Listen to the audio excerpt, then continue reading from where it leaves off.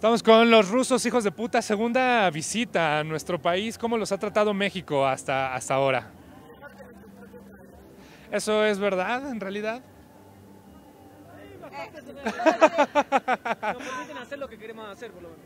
Oigan, ¿cómo es la percepción que se tiene del Vive Latino en Argentina? ¿Cómo, qué, qué es lo que se piensa de este festival en donde tienen la oportunidad de tocar ahora por primera ocasión? tan gigante como un que, que tiene trascendencia a nivel, sea, en toda Latinoamérica, el Vive Latino es, es uno de los festivales más grandes, en Argentina también es, o sea, es uno de los objetivos de, de, de las bandas tocar ahí, de cierta manera, llegar ahí es como entrar en un gran templo.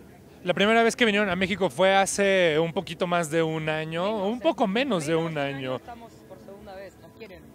Los- Nosotros los queremos también.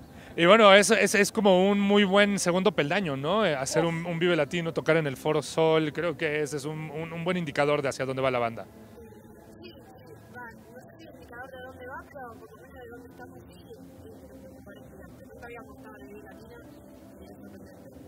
Ahora, ¿cuál es entonces el lugar hacia donde les gustaría llevar la banda? ¿Qué tipo de grupo creen ustedes que, que son y hacia dónde tiene que ir la carrera del grupo?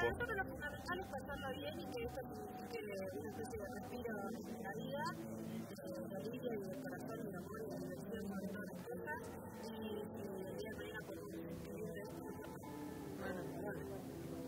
Es más importante el, camino, ¿no? Que recorremos que a dónde estamos yendo.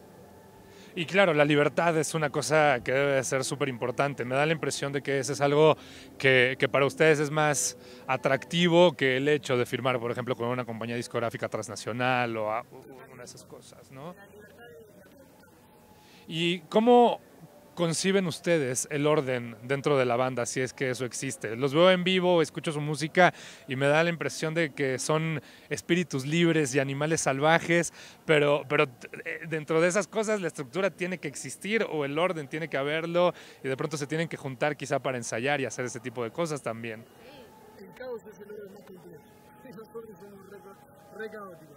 Pero hay- tenemos, hay un sentido. tenemos bastante disciplina, che. Ensayamos como dos veces o tres por semana. Claro, el es un montón. No nos molesta el trabajo, nos molesta no poder dedicarnos a lo que amamos.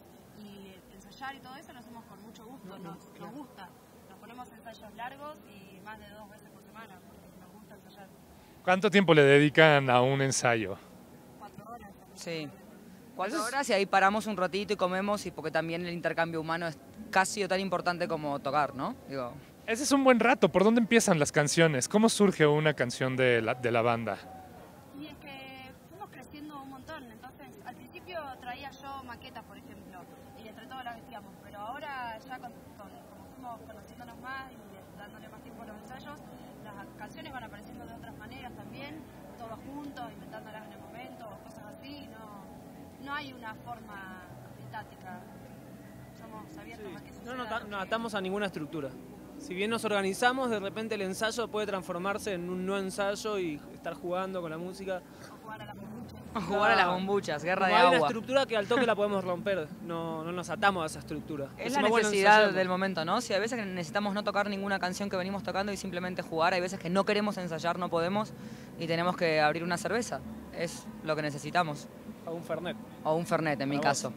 ¿Cuál es la manera en la que visualizan que será su primera aparición en Vive Latino? ¿Cómo se lo han imaginado? Todavía no me la visualizo, espero, quiero que se visualice en el momento sola y que se presente ahí, ante nosotros y nosotros presentarnos ante lo que sucede ahí.